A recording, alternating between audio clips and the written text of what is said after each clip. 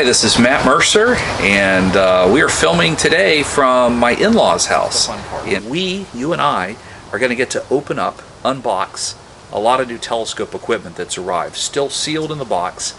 We're going to go from a beginner's perspective, open it up, see what equipment we've got, see how to put it together, and it should be a lot of fun. So let's get started.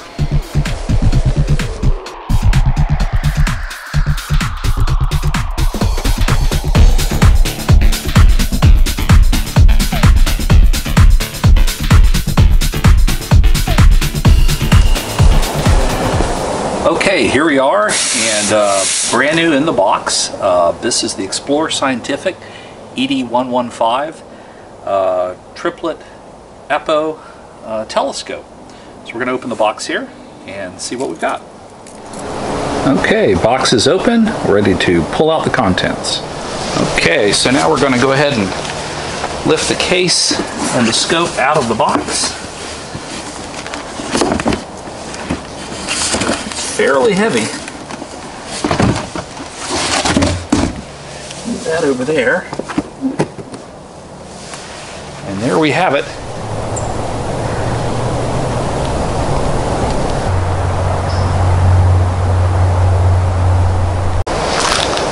Okay, let's go ahead and see what uh, what we have inside here.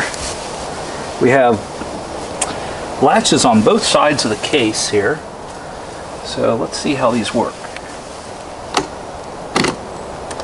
Okay, just flip the little handles up, click them over 90 degrees. Pretty simple, pretty intuitive.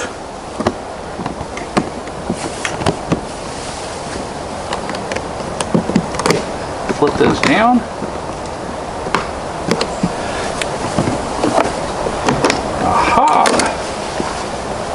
And here we have it. I'll set that down there.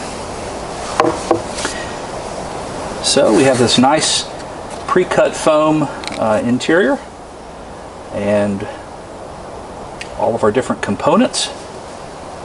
We're going to take these out one at a time. Okay, let's see what we have in here. First of all, we have some really nice, uh, it's very thick, very durable foam insert. This is an open hole for your finder scope. And we have four screws here. Here we have our diagonal.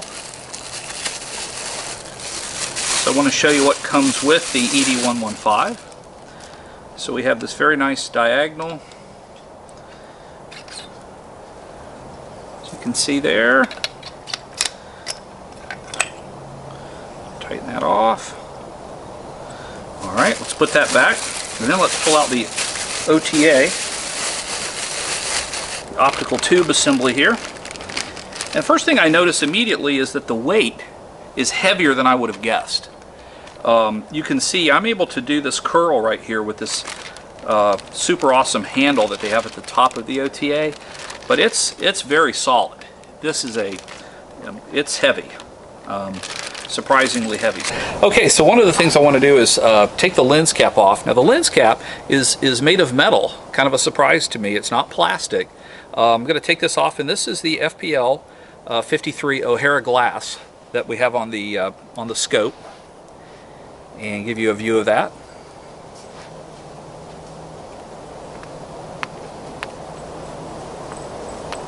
All right, put that back on. The other thing I want to do is show you the dew shield. So the dew shield basically, it's right here and it just slides out.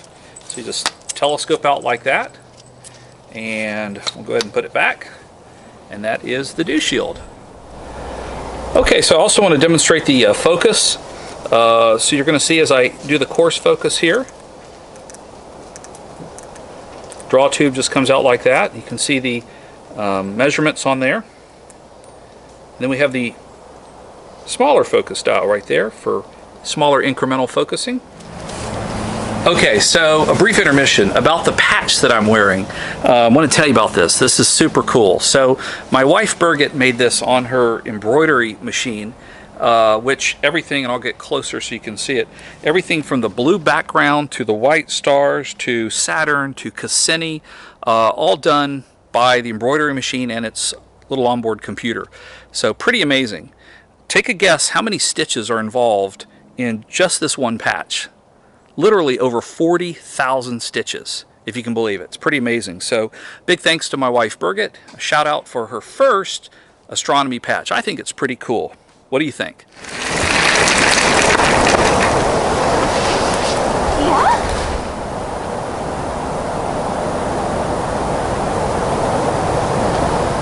Okay, we now have a Shih Tzu in the shot. Uh, that's Polo. And we're now going to open up the uh, new tripod mount. So this is the Skywatcher EQ6R Pro mount. And it comes with two boxes. The tall box is the uh, tripod, obviously. And the shorter box here is the mount head. So if Polo, or Shih Tzu will help, we'll go ahead and open up these boxes and see what's inside. Love you.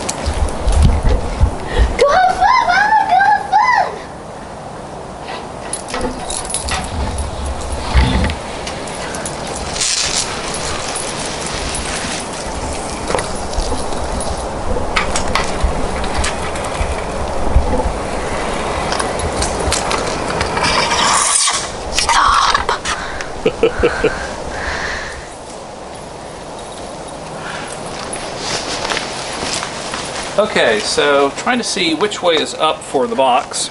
So we open it in a logical direction.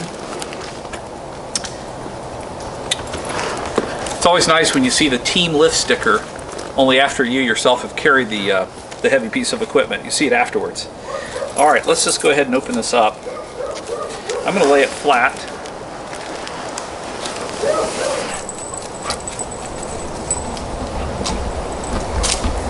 Dad, let's go to the dog show.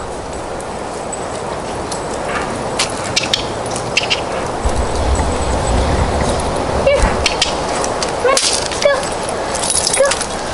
Let's go behind the film. All right, so we got it down flat, and we're going to go ahead and use a key here to open this up.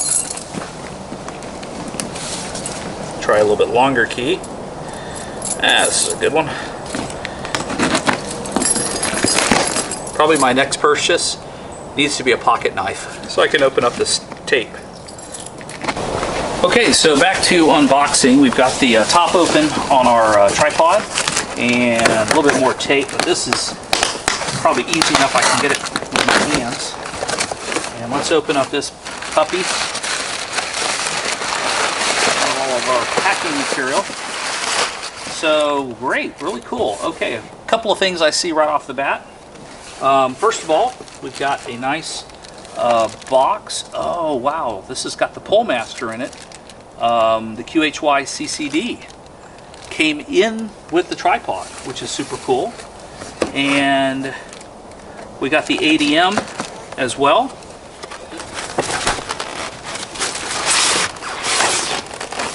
Set this part back down. And first thing we have is the tripod legs here.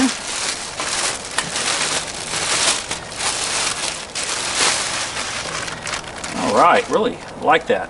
I like the look, I like the feel. Um, I like this, I call it sort of Stormtrooper white, if that's an official color, I don't know. I just made that up. And open that up just a little bit for right now. See what else we have. Okay, we got a few more things in here. First of all, at the head of the box is this kind of heavy box. I'm guessing this is the counterweight. Let's open this puppy up. Yep. Again, it is in a beautiful shade of Stormtrooper white. All right. Oops. Very nice, very nice. I'm going to set that over here.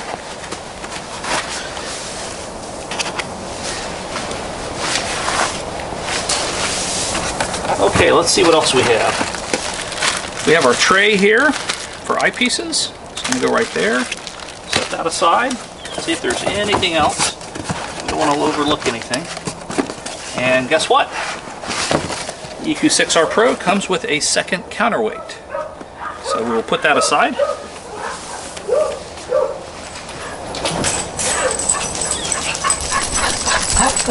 And this is Ginger. She is our Shih Tzu Maltese.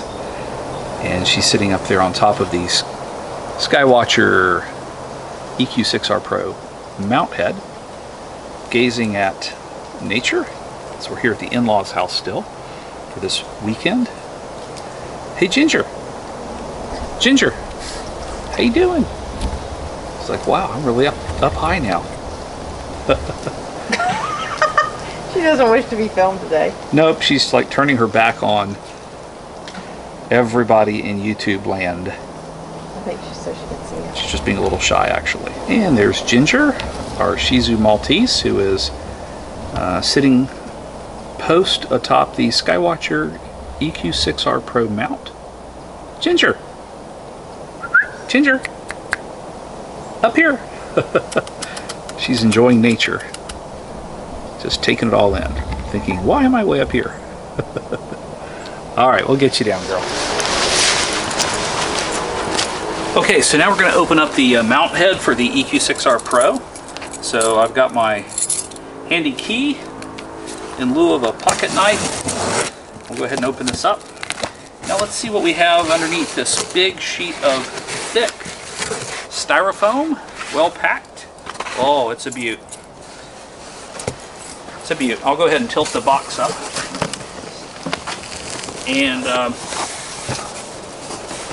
there you have the, the mount head. Okay, so this is the uh, mount head inside the EQ6R Pro box. It's just beautiful. Um, well packed. You've got that, I call it Stormtrooper white with a super cool space green. Um, you've got your bolt hardware top left corner, some cables top right corner. Um, really solidly packed. And one little tip. Um, I don't know that there's even a case available for the mount head, so save the box and save the styrofoam for your mount head. Great way to travel. Okay, so I'm to go ahead and pull the uh, mount head out. Um, it's pretty heavy. Um, looks like it's got a handle on one side here. So I'm going to pull it up through the plastic bag by the handle. All right. And this is tremendously heavy. I will tell you, it is quite solid. Okay, so now comes the challenge. So again, the black dowel that I'm referring to is this little stem that's sticking up right here. And this is that threaded shaft. You see it popping up here. So first thing we're going to do is take that rectangular hole that we just saw right over there. We're going to try to seat it right here. It's very, very heavy, so we'll see how well I do. I'm going to go out, out of shot here.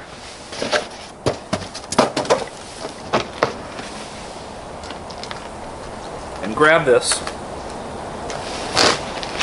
And what I'm doing is I'm feeling where that rectangular hole is. And I'm going to line up. There's the rectangular hole. And I'm going to line this up over the dowel. See how this does. Okay. Not too bad, I've never done that before. I'm going to hold it in place just till I can sort of make sure we've got everything situated roughly correct. Then what I'm going to do is I'm going to just gently tighten these azimuth bolts. One here, one here.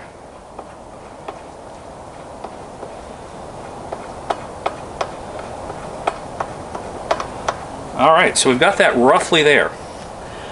Now, next thing we're going to do is we're going to attach this shaft here. Okay, and um, by the way, the, you notice in the last shot, this thing that came down, this is the counterweight shaft. So that can be tightened there. Go right for tight, or I can slide it up and tighten it. Just to kind of get that out of the way.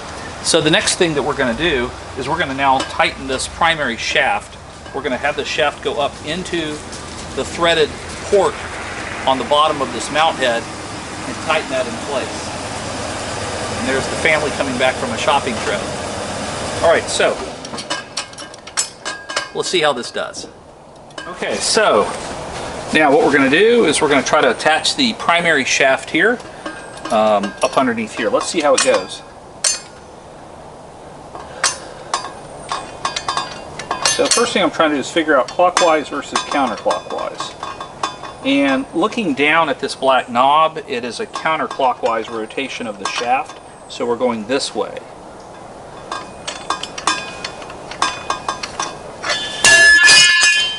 Whoops, that's probably a blooper. All right, so there's a washer underneath there. I've got that on pretty tight. So now the mount head is snugly anchored in there. Next thing we want to do is grab our washer and this knob down here.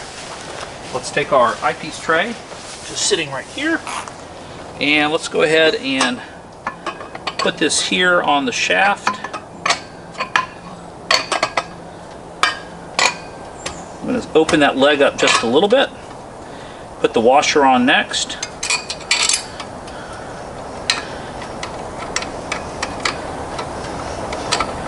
And this is going to be right for tight, sort of upside down.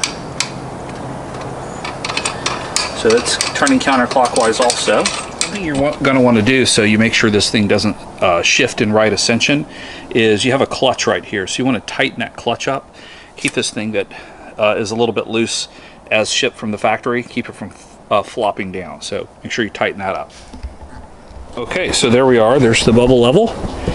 And I'm not directly over it just because of the microphone that is on top of the um, here I'll get snug in a little bit better there so you can see that's just about centered again the camera is not truly over the bubble um,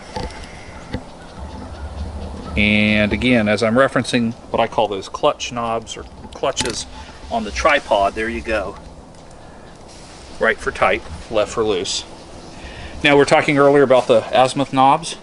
There's left and right. And of course that's going to pivot your mount head when you're doing polar alignment. And then we have, which we'll set shortly, um, we have the altitude or declination. And that's going to be set to our latitude, north latitude, once we get to that point.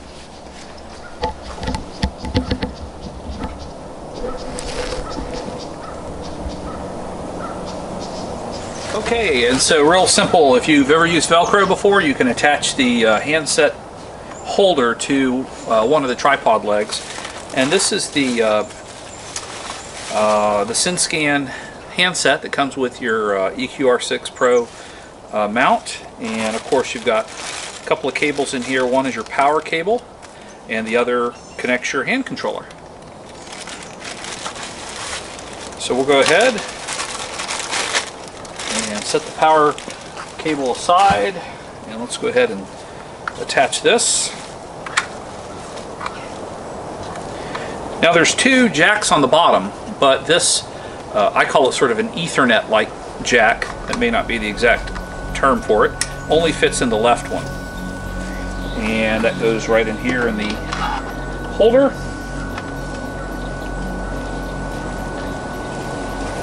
And then on the mount, we have a slot here called hand controller, pretty self-explanatory, and there we go.